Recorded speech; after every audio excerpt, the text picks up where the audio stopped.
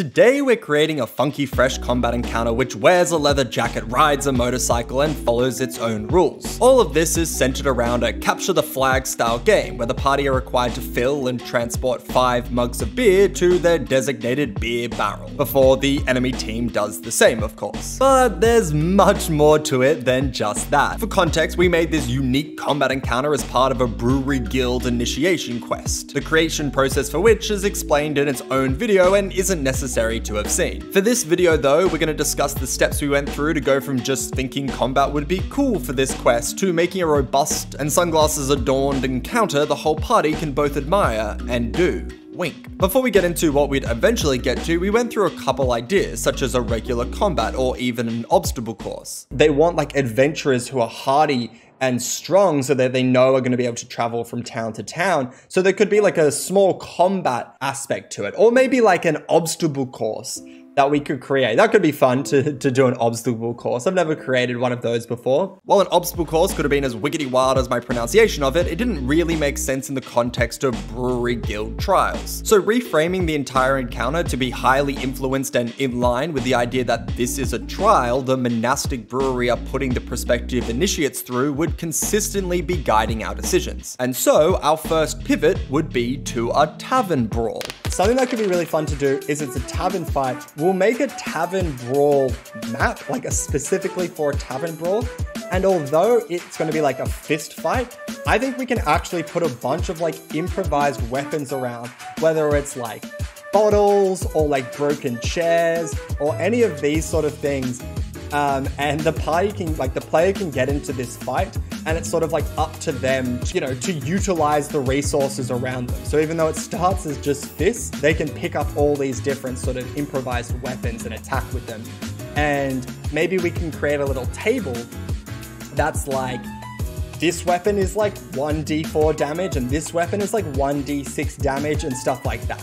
Um, and I also think we can set it in a location where you know, the other party members, maybe they have spells or whatever, like they're able to sort of influence it. But I very much think this is like a 1v1. This first foray into devising a combat provided us some greater starting blocks, but there was two issues here. The first is that even though only one person is really meant to get into the guild, having a 1v1 encounter may be a little boring for the other party members, especially since the chosen initiate has already done some solo trials before this. And I'll say this right now, later in the piece we decided to make this an alcohol-based fight the whole family can participate in. Other issue is that so far, this is a straight good old fisticuffs fight with improvised weapons. This occurring during a trial for a brewery guild doesn't narratively make a ton of sense. Although being able to hold one's own in a tavern is a valuable skill, the brewery guild isn't looking for straight up fighters. So off the back of Ruin Mirage's suggestion, we'd reorient the combat to be something way more interesting. I think they should have to secure a certain amount of ale at the end rather than a straight up fight. Ooh.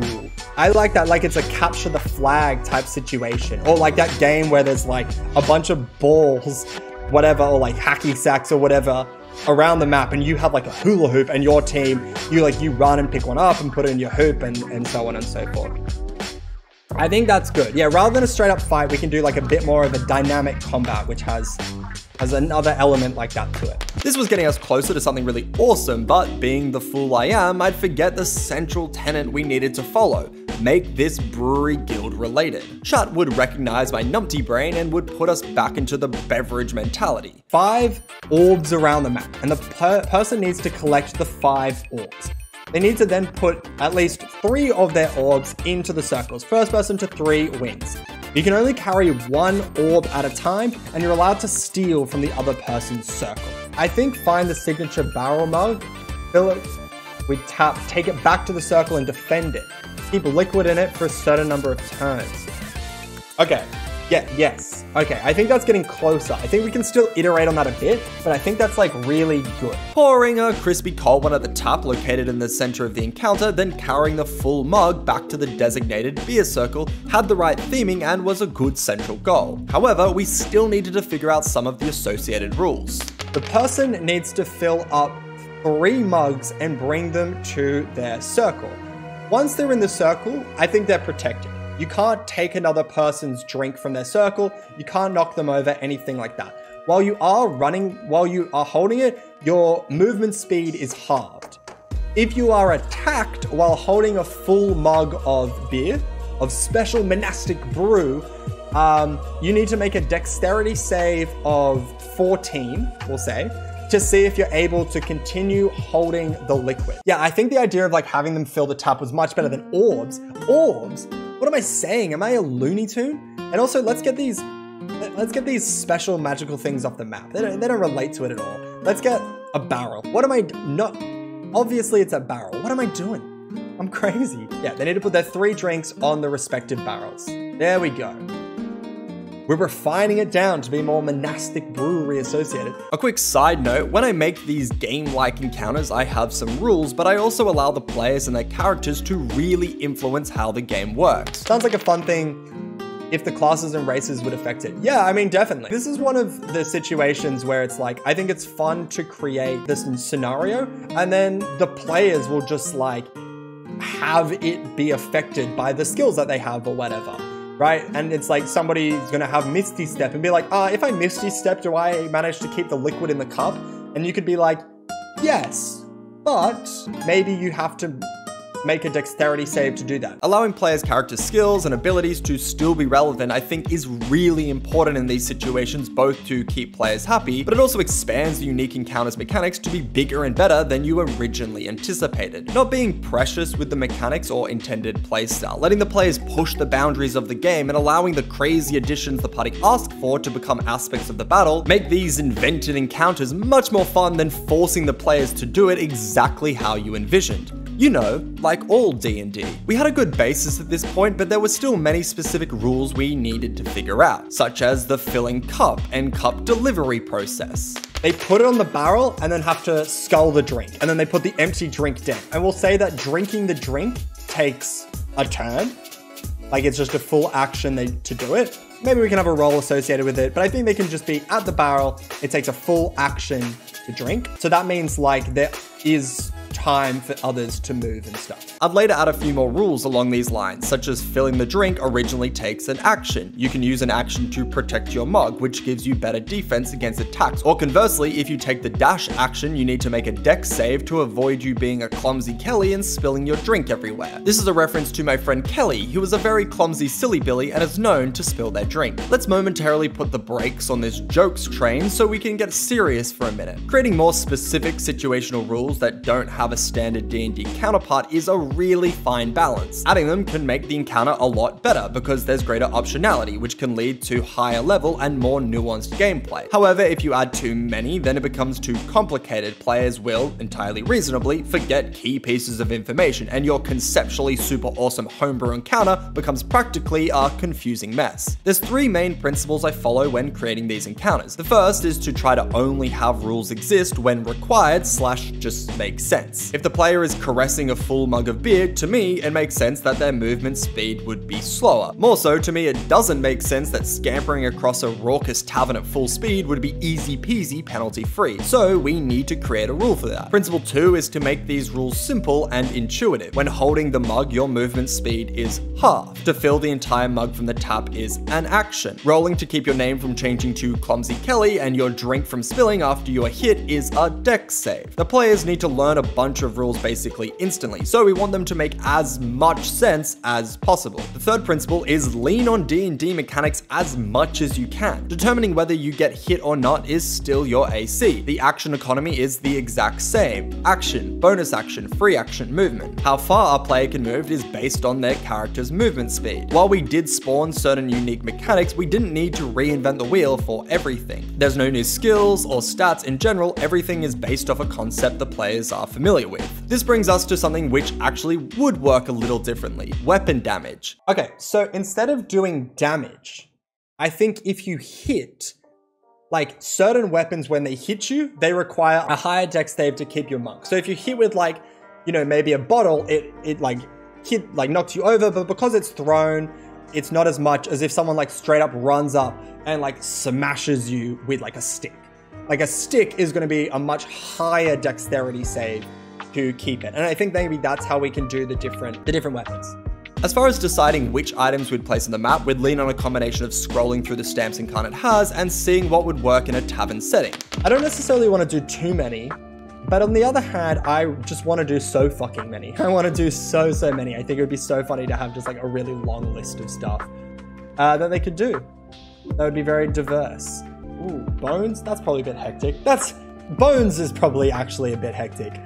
Turkey legs, fish or eggs or other food. Ooh, yeah, we could definitely have some food on the map. Yeah, I think food. Because it's like what we're going to do is we'll have like different dex saves and we'll just like put them in different categories. So like we'll have a bunch of stuff that's like lower. So then we can have like mugs, food, plates, like all the stuff that there's a lot of them and it's like pretty prolific. They can all be in the same tier. Despite saying I would like a long list, I would be pretty purposeful in keeping the list simple and grouping certain items together, just so there's less stats for the party to keep track of. When creating the actual table though, we needed to figure out what stats would be tracked and what values they would have. We went with hit DC, dex save, whether it's a thrown or melee weapon or both. Then we also added if having the weapon adds any defensive bonus, specifically extra AC. I think all of this is pretty easy to follow while all being necessary or in the AC bonuses case adds a little bit of extra dimensionality. I should note, I would tweak these values and how they operate later. Instead of having specific hit DC for each weapon, we'd have the DC be placed from the player's dex modifier plus their proficiency bonus, or their strength modifier plus their proficiency bonus. Or in some case, it could be either of the two, or neither. This way, the player's skills are still relevant in the battle, and this encourages players to gravitate towards weapons they are better at wielding, which resembles actual combat. As far as these weapons go, I wanted to break them into two camps, commonly found weapons such as mugs and food, and unique weapons which are stronger, but there's only one of them on the map. This also creates a situation where finding and using better weapons becomes a point of strategy for the game. This would be items like the fire poker, which for three turns after being taken out of the fireplace is scalding hot and requires a really high dex save when hit by it, before it cools down and becomes an average weapon. Or the moose head, which takes an action to rip off the wall, but provides great defensive bonuses and is pretty strong offensively as well. While the moose head can give an inspiration point when you pick it up. Okay, okay, yeah, yeah, yeah, yeah. Yeah, I love that. That's so funny. That's great. Moving from offense to not offense, defense would be pretty simple. Whether you will hit or not is determined by your AC. However, as protecting the mug carrier is an aspect of this game, I wanted to add onto this. Say there's like two people on the map, so there's like someone here, and we'll, we'll get something to represent it. Yeah, this person, perfect. But this person can be like our blocker, and this dead body can be, can be our runner. Perfect, amazing. So say like this person has a mug and is like making their way over here. I think you could maybe take a block action to be able to defend away from attacks. And I think it would make sense to be able to block, I guess, an infinite amount of times. Because that way, like, you could have some people just doing the movement or running back and forth. Then you can have some people who are like disruptors, who are like purposely trying to fuck up other people's day. And then you have, you know, your tanks being in the way. So I think when it comes to blocking, what we can do is if you have the block action, you're able to maneuver yourself in between uh, the attack, especially thrown attacks, and the party. And it then becomes your AC, which is the defining factor, rather than the person, this person's AC.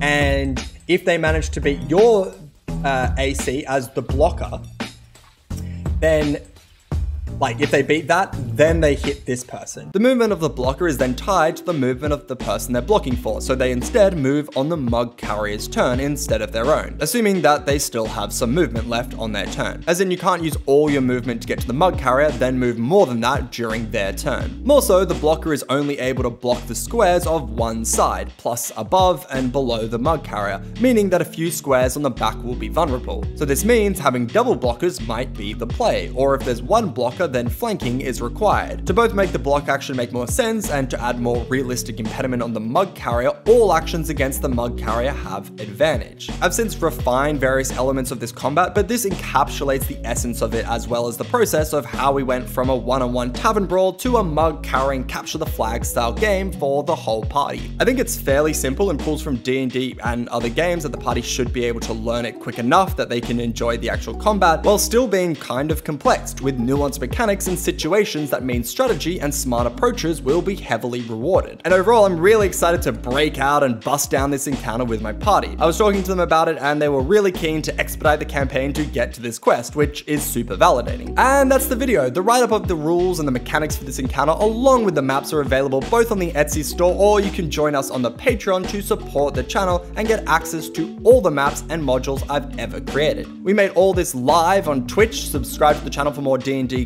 content creation. Thanks for watching and as always, I will see you in the next one. Bye!